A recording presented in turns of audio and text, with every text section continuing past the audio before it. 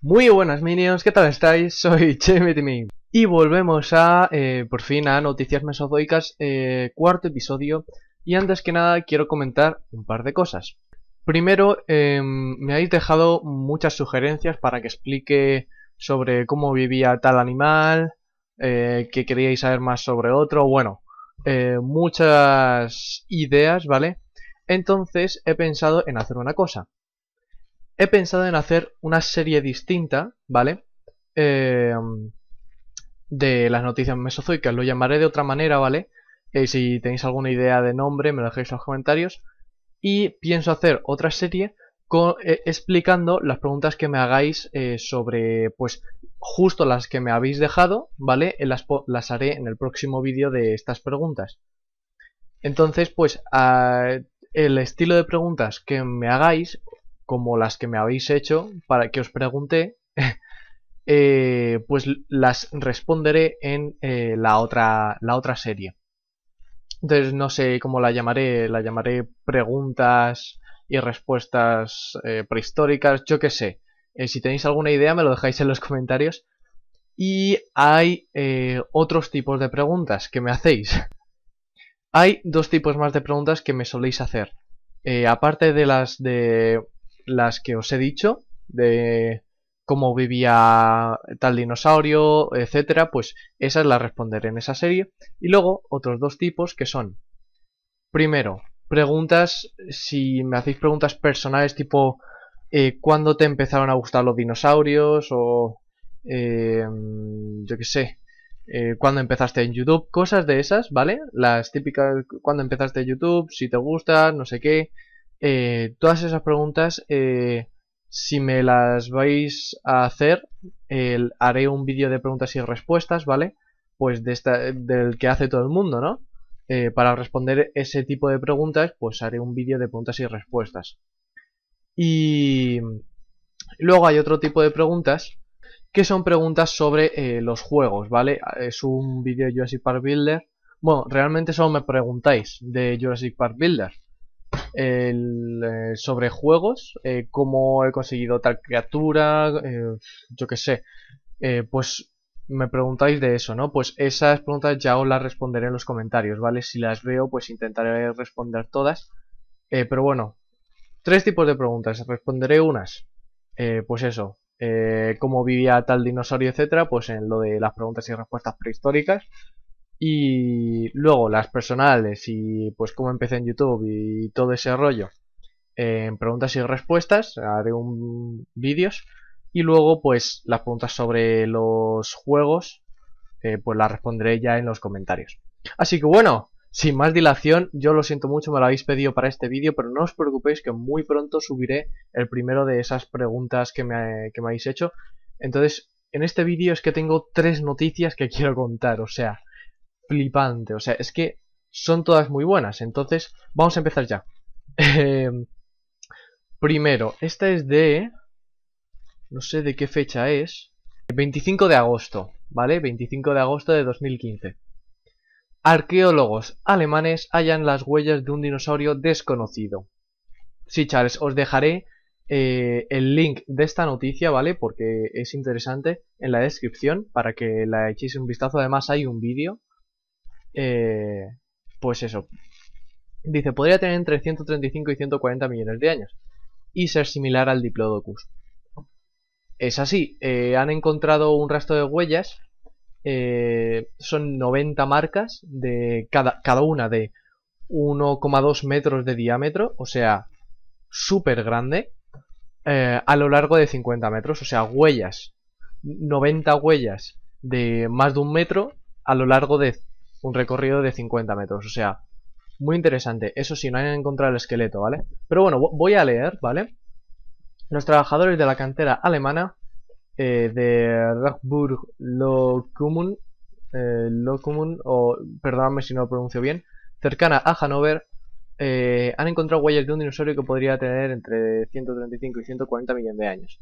Según los arqueólogos, las huellas tienen un diámetro de 1,20 metros y una profundidad de unos 43 centímetros.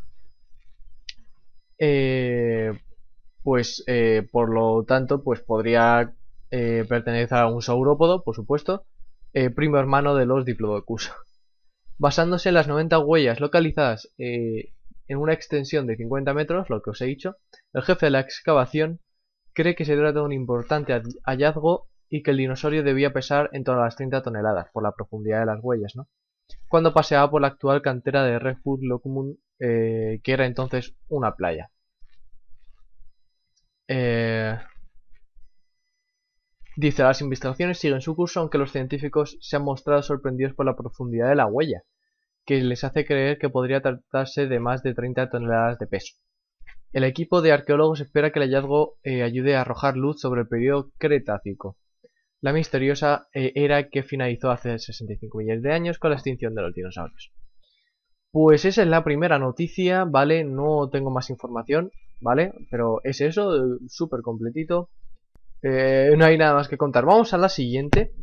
Em, vamos con el miércoles 2 de septiembre de 2015. Nuevo dinosaurio. Pero esta vez esqueleto eh, Cephapanosaurus zastronensis, del sur al mundo. Hace unos 200 millones de años las masas continentales estaban unidas formando Pangea y comenzaron a fragmentarse en dos, bueno, bla bla bla bla bla bla. Un estudio reciente publicado en la revista Zoological Journal of the Linnean Society eh, muestra un descubrimiento de una nueva especie de dinosaurio sauropodomorfo que recibe el nombre de Cephapanosaurus zastronensis. Es un prosaurópodo, si no me equivoco. Sí, es un prosaurópodo, ahora vemos más. Eh, dice, los saurópodos, cuyo nombre significa patas de reptil, fueron los animales más grandes que caminaron la Tierra. Podrían llegar a pesar hasta 70 o 90 toneladas. Tenía un cuello notablemente largo y flexible y bla, bla, bla. su cabeza era pequeña y sus dientes estaban adaptados para la alimentación herbívora. Eh, bueno, sí.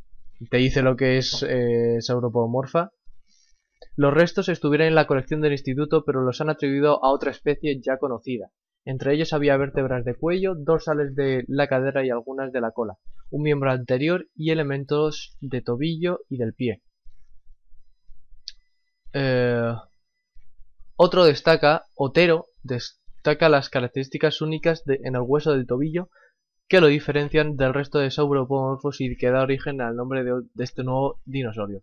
Cephapanosaurus en lenguaje lesoto, supongo, no soto, una de las 17 lenguas oficiales de Sudáfrica, quiere decir tobillo en forma de cruz. Y así es la morfología particular que tiene este hueso ¿Eh? astrágalo. No, sí, astrágalo. Zastronensis hace referencia a un lugar donde fueron recogidos los restos las cercanías de la localidad de Zastron, en Sudáfrica. Al respecto, Otero sostiene que el hallazgo del Cephapanosaurus zastrensis ah vale, no zastrensis es interesante porque hay un gran debate eh, que se ha incrementado en los últimos años en cuanto al origen de los saurópodos, o sea, estamos hablando de un prosaurópodo. En los últimos años se encontraron ejemplares de nuevas especies relacionadas con su origen y particularmente provienen de Argentina y Sudáfrica. Es decir, que estos territorios habían tenido un papel importante en el origen de diversificación de los saurópodos. Eh, pues eso, que han, han, como han, que han redescubierto, podríamos decir, esta especie... Eh, no, es que la han descubierto de verdad. Eh, pues eso, un nuevo prosaurópodo. Lo podéis buscar en Google. Eh, Cephapanosaurus zastronensis. Eh, pues, pues ya está. Nueva noticia. Y vamos con la última ya. Esto se está haciendo muy largo. Jueves 3 de septiembre de 2015. Esto es más de botánica. Dice, ¿cuándo comenzaron a diversificarse las plantas con flor? Simplemente confirma que empezaron a diversificarse eh, hace 130 y 125 millones de años. Eh, que son, eh, por como por ejemplo, un momento, un momento, una planta M. vidali, pues que es la, una de las plantas angiospermas más primitivas descubiertas hasta ahora. Descubierta en la península ibérica, pues eso, que vivía hace 130 y 125 millones de años. Os dejaré una foto, ¿vale? Tengo aquí la foto del fósil, eh, muy, muy, muy bien conservado. Y bueno, pues ya está. M. vidali es una angiosperma inequívoca. Eh, con semillas insertadas anatómicamente en la planta que muestra un carpelo cerrado e indi indescendente. Eh, contiene una única semilla que es llevada hacia abajo, con el micro, micrópilo que apunta hacia el punto de sujeción que discurre ventralmente en relación a la placenta, en la base hasta el hilo, situado cerca de la parte superior. Bueno, pues eso, ya han confirmado cuando empezaron a, desarrollarse las angiospermas, que es muy importante. Eh, pues bueno, estas son las tres noticias que quería contar, muy interesantes todas, espero que os haya gustado, no os preocupéis que contestaré vuestras dudas sobre los animales en el, vídeo próximo de preguntas y respuestas prehistóricas. Eh, lo llamaré de otra forma, ¿vale? Eh, una forma más chula. Eh, si tenéis alguna idea, de todas maneras, dejadme en los comentarios. Y bueno, pues eso, no os preocupéis. Si os ha gustado, dadle un buen like, comentad y nos vemos en el próximo episodio. Adiós. No, sí, bueno, me estaba haciendo el lío, eh. Cuidado, tío, que te un chaval. Se pone ahí arriba, tiene un poco... Eh, a ver, ¿qué nos ponemos? Vamos a poner este el pirómano. ¡Madre tú! ¡Oh! ¿Qué? What the fuck? Ahora que se ha caído en el agua. Esto es súper divertido, tío. Esta partida es infinita.